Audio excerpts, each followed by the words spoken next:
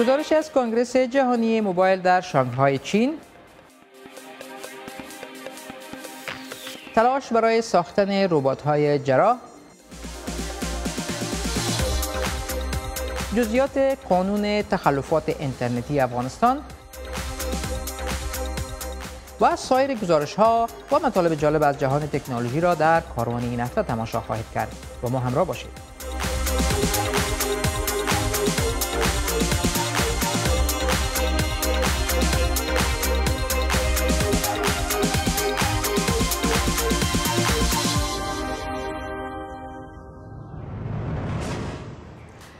سلام. به کاروان خوش آمدید من داود صدیقی در نیم ساعت آینده با پیشکش نمودن گزارش ها و مطالب جالب از جهان تکنولوژی با شما خواهم بود.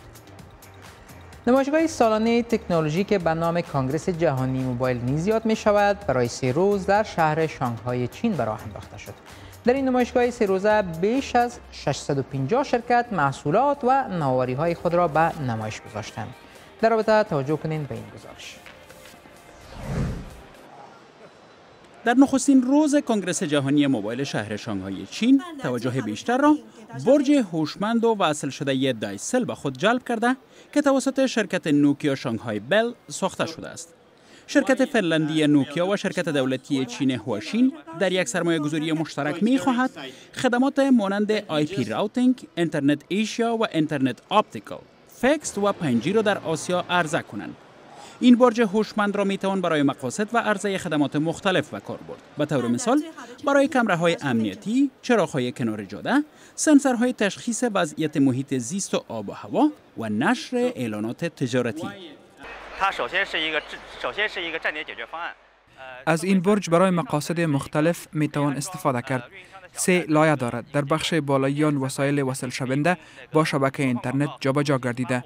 در وسط سه صفحه نمایشی برای نشر اعلانات و در بخش پایینی آن با وسایل هوشمند مختلف مجهز می باشد. در این بخش charger تلفن است و در پهلوی دیگر meter پارکینگ و در این پهلو ساعت. مشتریان به سادگی می توانند مدل های مختلف این برج را با هم وصل کنند و بلندی آن را تا 16 متر برسانند.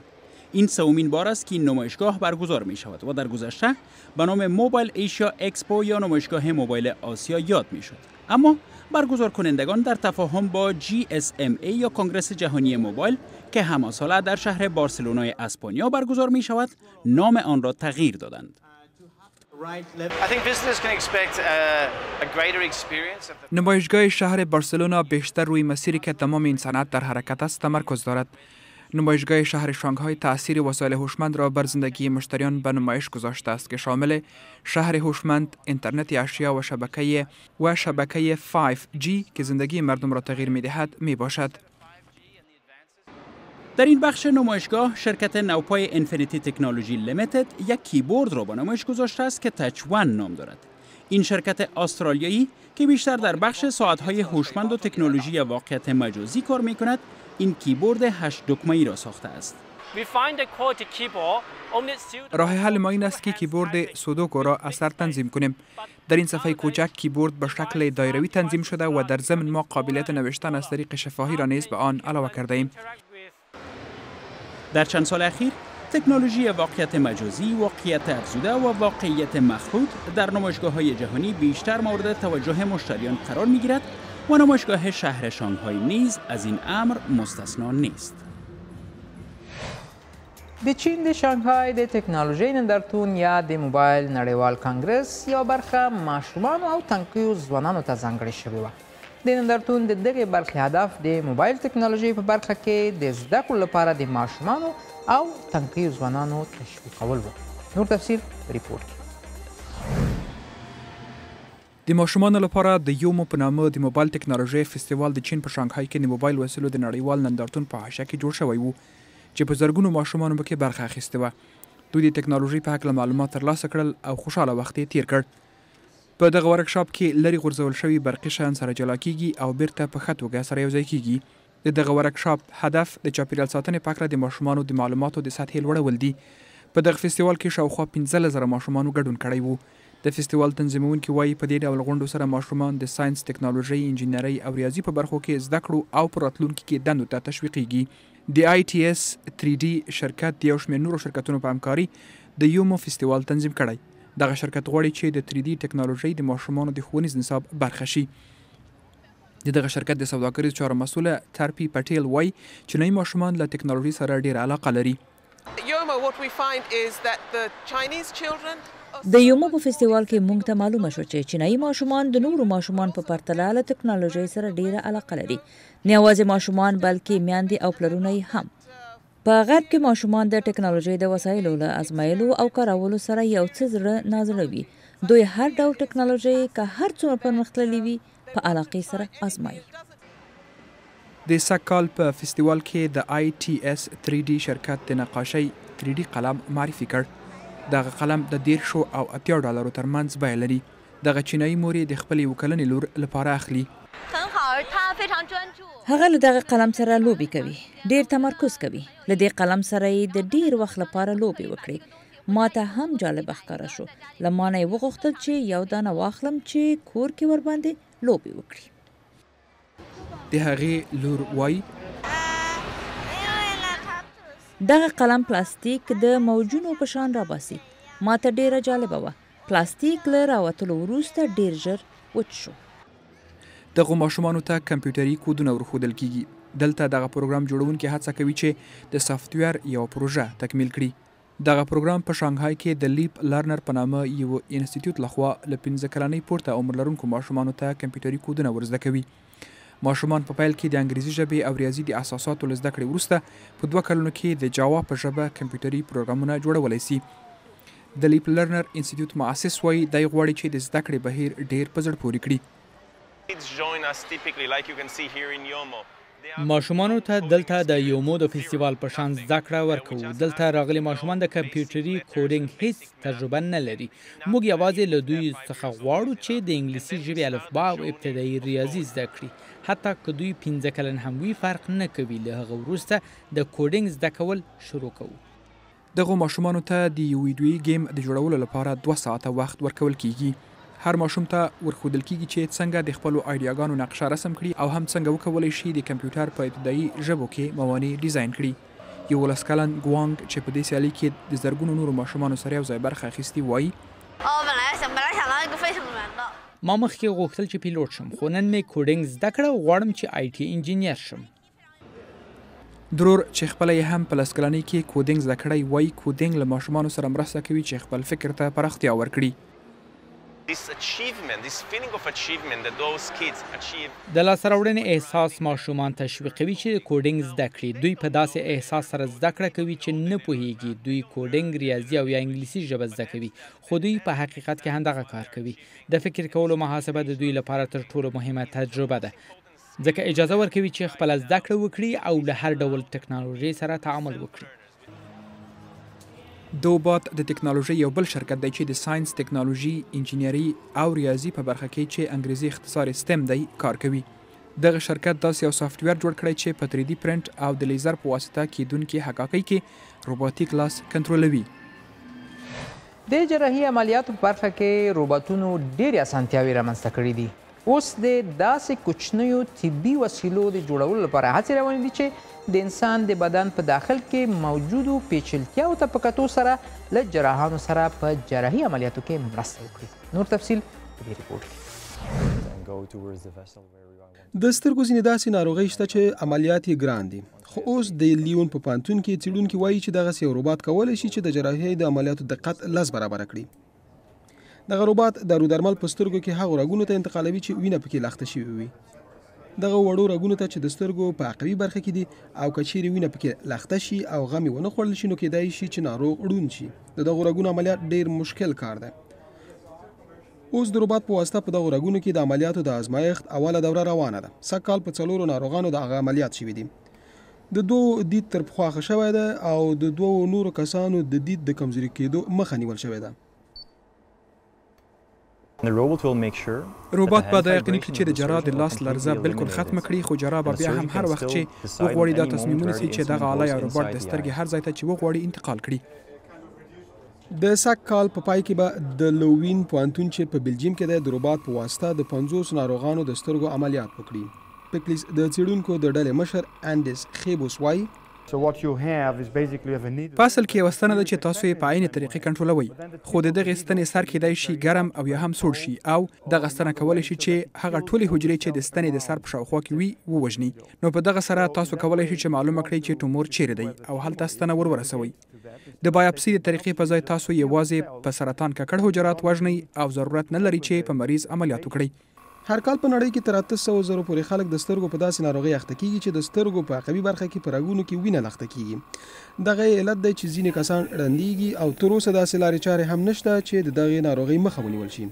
جراحان د اوس لپاره د پیچکارۍ نه کار اخلي چې درمل د سترګو د غرګونو ته چې وینه پکې لخته شي وي انتقال کړي. خو مشکل په دې کې دی چې د غرګونو د انسان تر ویښتانو هم نری دي خیبوس وایي چې کله غروبات جراته د بیب غږ کوي او معلومات ورکوي چې رګ سورای کړای دی او د رګ دننه ځان رسولای دی. هغه وایي چې کاروبار دوه ځلې بیب وکړي نو دا په دې معنی دی چې راک سوری شوی او ستنه د راک دننه نه بلکې د راک نه وتلې ده. په دغه حساب کچېره روبات یو بیب کوي نو درمل راک ته رسول کیږي او کچېره دوه بیب کوي نو درمل نه تزریق کیږي د روبات دغه ټکنالوژي د سینې د سرطان په عملیاتو کې هم استعمالیږي. هغه جراحان چې د سینې د سرطان عملیات کوي هغوی به دغه ټکنالوژي د تومور یا د سرطان د دانې د تصویر د اخیستلو لپاره وکاروي. په هالند کې د تونټا د پونتون یو ټیم د سینې په سرطان تحقیقات کوي. دغه ټیم مشر څېړونکی استاد وایي چې دغه ټکنالوژي به په راتلونکي کې د سینې د سرطان په جراحي کې هم وکارول شي. Standard surgery, you do large incision. د ستندر جراحي لپاره پکار ده چې بدن څیري شي. دغه ناروغ ته ګرانه ده او ډیر وخت نیسي چې زخم دې بیرته جوړ شي. دغه علت دی چې دغه روبوټونه اوس کار اخیستل کیږي چې بدون د کومې نښې د انسان بدن ته داخليږي او عملیات کیږي. دا یو طریقه ده یوازنۍ طریقه نه ده چې د سینې د سرطان د جراحي عملیاتو د لا موثره کولو لپاره استعمال کېدای شي. خو څېړونکي پی برپدراین وایي چې دغه ټکنالوژي به جراحانو ته د دې زمينه برابر کړي چې عملیات په اسانه توګه ترسره کړي تکنولوژی با سرعت در حرکت است و هر روز پدیده نوی می آفریند. گسترش استفاده از درون ها، موترهای هوشمند، اپلیکیشن های جدید، هوش مصنوعی ربات ها، از همه مهمتر پیشرفت تکنولوژی در افغانستان. با آخرین رویدادها در جهان تکنولوژی اگر می خواهید با تازه ترین انکشافات جهان فناوری همگام باشید برنامه کاروان را تماشا کنید.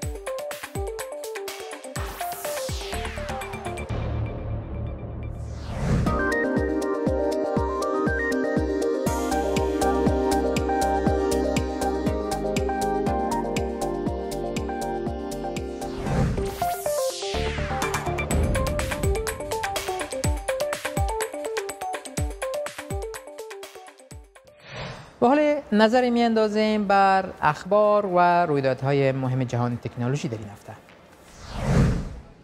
تکنولوژی یک کوچه فرعی جاده مشهور آکسفورد لندن را به یک مرکز خرید هوشمند تبدیل کرده است. بازدید کنندگان در اینجا بعد چیزهایی مثل رنگ جذب کننده هوای کثیف، دراز چوکی تصفیه کننده هوا و پیاده رو تولید کننده برق سر می‌خورند. جاده آکسفورد یکی از جاده های مزدحم خرید و فروش در شهر لندن می باشد که سالانه حدود 200 میلیون نفر از آن بازدید می کنند.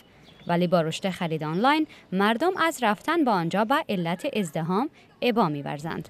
به همین خاطر مغازه ها به خاطر مطرح ماندن در دنیای دیجیتال دست به این ابتکار زدند. جاده فرعی براد استریت به یک جاده تجربوی هوشمند مبدل شده تا خرید و فروش را سادهتر و آری از ضرر برای محیط زیست بسازد. در نمایشگاه جهانی موبایل در شانگهای چین مسابقات پرواز درون ها نیز صورت گرفت. پرواز دهندگان مجرب دراوند از سراسر جهان در این مسابقه اشتراک کردند و تجارب پروازشان را با استفاده از تکنولوژی موسوم و FPV به نمایش گذاشتند. درون ها در یک فضای سربسته در نمایشگاه جهانی موبایل پرواز می کنند. حدود 50 پیلوت از سراسر جهان برای به دست آوردن جایزه نقدی در این مسابقه اشتراک کردند. اداره کننده ها یا به اصطلاح پیلوت ها در این مسابقه عینک ها را به چشم می کنند تا با تکنولوژی FPV مجهز باشند. با استفاده از این تکنولوژی پیلوت طوری احساس می کند که در داخل یک تیاره واقعی نشسته و آن را اداره می کند. پنچر هم نمی شود. ذکاوت ساختگی کار می کند در اواخر ماه جون در شهر توکیوی ژاپن برگزار شد. در این نمایشگاه انواع و اقسام گوناگون از وسایل که با هوش مصنوعی کار می کنند به شمول یک وسیله تحلیل کننده احساسات و نمایش گذاشته شده بود. در کنار شمار زیادی از وسایل ذکاوت ساختگی، شرکت SenseTime مستقر در هنگ کنگ یک سیستم امنیتی را که از ذکاوت مصنوعی برای تشخیص چهره فرد استفاده می کند و به نام SenseGuard معروف می باشد به نمایش گذاشت. نشست جهانی تکنولوژی های هوشمند در این اواخر در شهر تیانجن چین برگزار شد. رئیس شرکت Baidu بزرگترین شرکت تکنولوژی چین در خطاب به گرد همایی جهانی تکنولوژی های هوشمند گفت تکنولوژی هوشمند در طول سی تا 50 سال آینده به یک قوه محرک در سطح جهان مبدل خواهد شد و افزود این تکنولوژی در حال تعویض تکنولوژی معلوماتی است جکما رئیس شرکت چینی علی بابا گفت ربات ها و انسان ها نباید با هم رقابت کنند بلکه همکاری بین آنها می تواند مشکلات آینده را حل کند. مشکلات تایرهای rubber ی چون پنچر شدن و غیره ممکن یک روز به حافظه تاریخ سپرده شود. شرکت فرانسوی به نام Michelin یک تایر 3D را به نمایش گذاشت که نظر به ضرورت رانندگی تغییر می کند و خود را برای حالت مشخص رانندگی عیار می سازد. این تایر هوشمند که Vision نامگذاری شده بر رانندگان در مورد وضعیت رانندگی معلومات مفصل ارائه می کند و رئیس شرکت مشلن می گوید این تایر هوا نمی گیرد و پنچر هم نمی شود.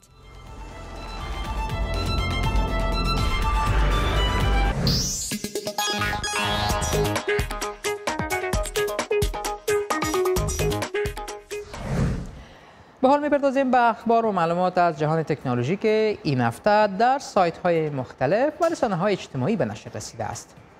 این هفته ایلان ماسک رئیس شرکت موترسازی تزلا در صفحه توییتر خود نوشت که موتر مدل 3 این شرکت دو هفته پیش از وعده قبلی تولید خواهد شد. تزلا با موتر مدل 3 که قیمت آن از 35 هزار دلار آمریکایی آغاز می شود می خواهد موتر کاملا برقی را به بازار عرضه کند که قیمت آن برای اکثر مردم مناسب باشد. شرکت تزلا تا به حال فرمایش قبلی برای 400 هزار اراده موتر مدل 3 به دست آورده است و تمامی مشتریان توقع دارند موترهای خود را در وقتی که از قبل تعیین شده به دست آورند. از سوی دیگر شرکت سامسونگ فروش گوشی گلکسی نوت 7 را در کره جنوبی دوباره آغاز کرده است. گوشی گلکسی نوت 7 در سال 2016 به دلیل داشتن مشکل تکنیکی و آتش گرفتن بیتری آن در سطح جهان از فروش باز ماند و حتی شرکت سامسونگ تمام گوشی های فروخته شده را از مردم پس گرفت. حالا این شرکت مشکل این گوشی را حل کرده و تنها برای علاقمندان این گوشی در کره جنوبی به فروش می‌رسد. یک شرکت ساختمانی در شهر بنگلور هند با استفاده از تکنولوژی امروزی و مواد ساختمانی جدید یک خانه را از بنیاد در ظرف 24 ساعت ساخت. این شرکت با این کار خواسته آینده کار ساختمانی را نمایش دهد. این شرکت برای ساختن چنین خانه ها از اجزای ساختمانی از قبل تهیه شده استفاده می کند و می خواهد در هزینه و وقت ساختمانسازی صرفه‌جویی را رایج سازد. از دیگر وبسایت Pew Research Center بر اساس یک سروی و گفتگو با دکتران متخصص یک گزارش را در رابطه به اضرار احتمالی استفاده درازمدت از های هوشمند به نشر رسانده است. در این گزارش آمده است که ممکن در چند دهه آینده افرادی که روزانه به ساعتها تلفن هوشمند را در دست دارند با مشکلات صحی بویژه به سندروم تونل کارپل که یک نوع اختلال رشته های عصبی است مبتلا شوند. این گزارش را در وبسایت Pew Research Center خوانده می‌توانید حکومت ایالات متحده برای تشویق شهرهای بزرگ برای استفاده بهتر و بیشتر از خدمات و تکنولوژی های جدید رقابتی را به راه انداخته است و می‌خواهد استفاده از موترهای بدون راننده را در شهرها رواج دهد. هر شهر بزرگی که بتواند استفاده از موترهای خودران را نخست آغاز کند حکومت با آن شهر کمک مالی می کند شرکت های موترسازی و تکنولوژی با کمک شاروالی ها در شهرهای سان فرانسیسکو، آستن و پیتسبرگ امریکا در تلاشند تا برنده این رقابت شوند.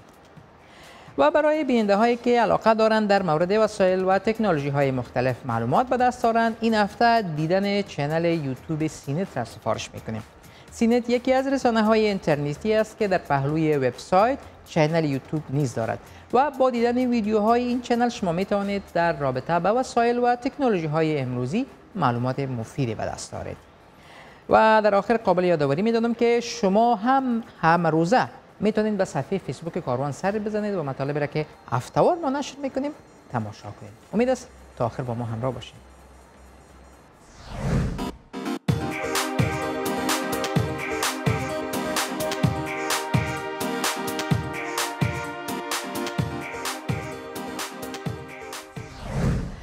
په افغانستان کې د انټرنیټ د کارونکو له زیاتوالي سره د انټرنیټي جرمونو اندېښنې هم په زیاتېدو دي له همدې امله په دې وروستیو کې ولسمشر محمد اشرف غني د انټرنیټي جرمونو د جزا قانون توشیح کړ د افغانستان د مخابراتو او معلوماتي ټکنالوژي وزارت وایي د دغه قانون له مخې به هغه کسان عدلي او قضایي ادارو ته ورپېژندل کیږي چې معلومات غلا کوي تور پوري کوي ترهګري او د ملي ګټو خلاف څرګندونې او نور جرمونه کوي حکمت سروش په دې اړه یو رپورټ لري.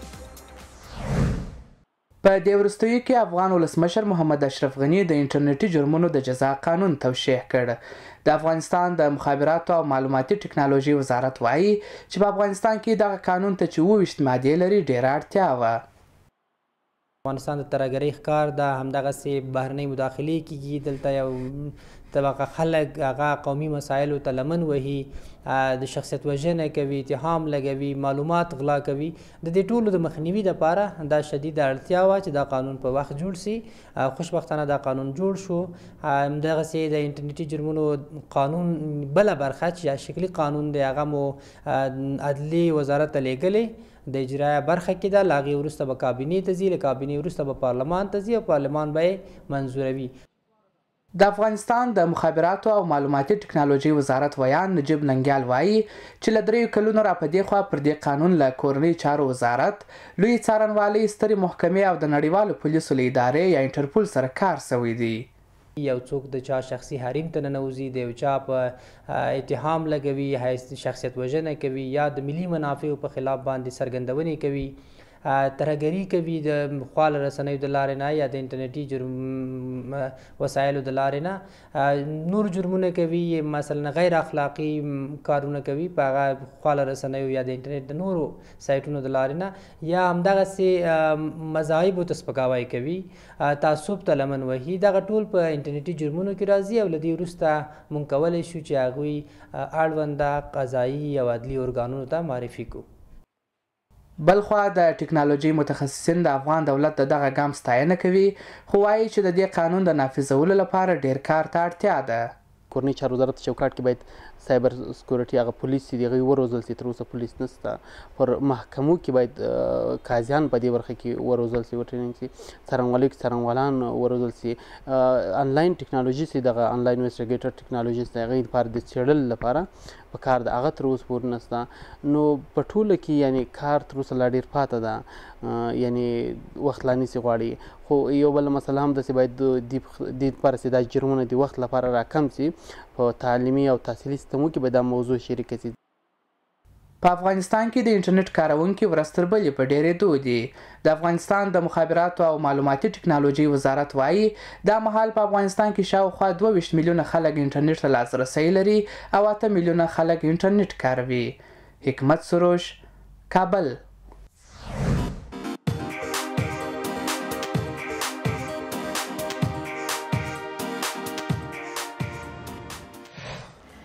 با پیشرفت روزافزون تکنولوژی switchboard موترهای امروزی نیز در حال تغییر است.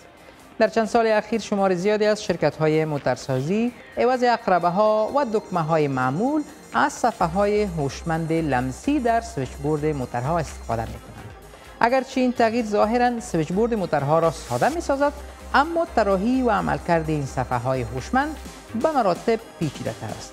در رابطه گزارش جالبی دارم.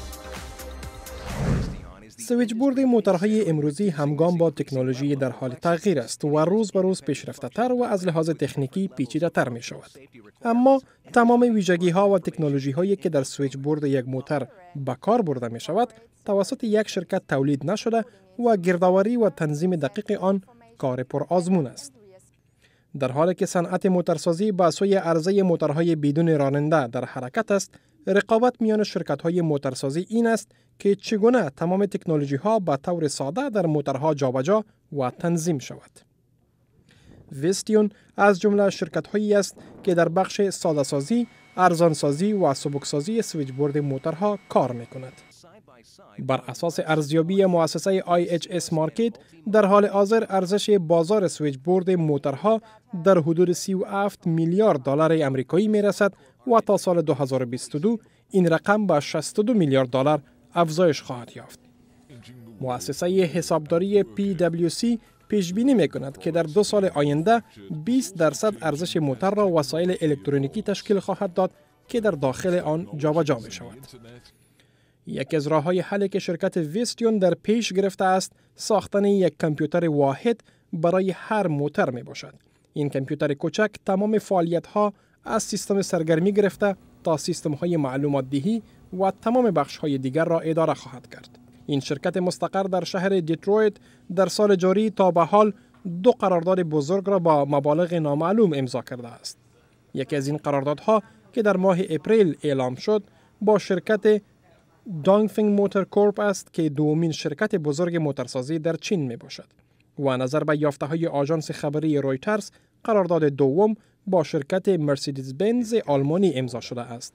As the focus of the industry shifts more towards autonomous driving vehicles, چنان که صنعت موتورسازی به سوی عرضه موتورهای بدون راننده در حرکت است افزایش تعداد و اندازه وسایل الکترونیک در موتورها برای این صنعت به یک مشکل بزرگ تبدیل می شود به هر اندازه که تعداد این وسایل بیشتر می شود وزن موتور و مصرف انرژی آن نیز افزایش می یابد موتورهای بدون راننده بیشتر برقی خواهد بود توجه به این بخش بسیار مهم است چرا که موتورهای برقی در آینده باید مسافت طولانی تر را با مصرف انرژی کمتر بپیماید آقای بویجز می‌گوید که پیچیدگی انجینیری ده سیستم متفاوت از چند شرکت مختلف چیزی است که شرکت های موتورسازی دیگر نمی‌خواهند آن را انجام دهند.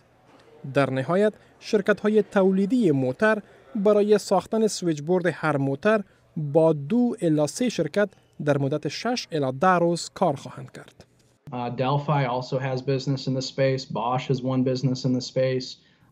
شرکت های دلفی، بوش و هارمن نیز در این بخش کار می کنند و همچنان ما انتظار داریم که شرکت های کانتیننتال، پاناسونیک، دنزو و شمار دیگر نیز در پهلوی شرکت ویستیون که آغازگر این روند است رقابت را آغاز کنند و هیچ یک از این شرکت ها در این زمینه تنها نخواهد بود. در چنین فضای پر از رقابت ما توقع داریم شرکت های مختلف فعالیت کنند به ویژه شرکت هایی که در بخش های مختلف تجربه فعالیت دارند چرا که بعضی از شرکت ها با کار در یک بخش مشخص توان ساختن یک switchboard مکمل را ندارد و ممکن با مشکل کاهش درآمد روبرو شوند. فراموش نباید کرد که تمام تلاش ها برای ساختن switchboard پیشرفته برای فروش بهتر موتورها می باشد. راننده هایی که با تکنولوژی تلفن های هوشمند عادت گرفته اند اکثرا سیستم های موجود در سویچ بورد موتورها را از لحاظ شکل و فعالیت نمیپسندند. مؤسسه AGD در ماه جاری یافته های یک تحقیق را به نشر رساند که از شکایات موترداران در رابطه با سیستم های صدا، ارتباطی، سرگرمی و نقشه حکایت می کند. سویچ بورد خوب و پیشرفته در موتورهای آینده برای جذب مشتریان جوان که برخلاف والدینشان علاقه چندان به موتورها و راندن نشان نمی دهند بسیار مهم پنداشته می شود. مؤسسه تحقیقاتی منتل در یک مطالعه تازه خود دریافته است که 41 درصد مشتریان جوان موتورها علاقه دارند موتورهایشان مجهز با پیشرفته ترین تکنولوژی ها باشد. دا د دې اونۍ کاروان هیله ده خبرونه ټول مطلبونه مو ګرځېدلي وي مخکې خدای پاماني غواړم یادونه وکړم موږ د خپرونې د لا ښه والي لپاره ستاسو نظریو او وړاندیزونو ته سترګې په لاره یو. تاسو کولی شئ د نننۍ خپرونې په ګډون د کاروان ټولې خپرونې د کاروان د فیسبوک پر پاڼې یوټیوب چینل او د امریکا غږ په پښتو او دری ویب پاڼو کې وګورئ. هیله ده تل له موږ سره اوسئ. تر بیا الله مو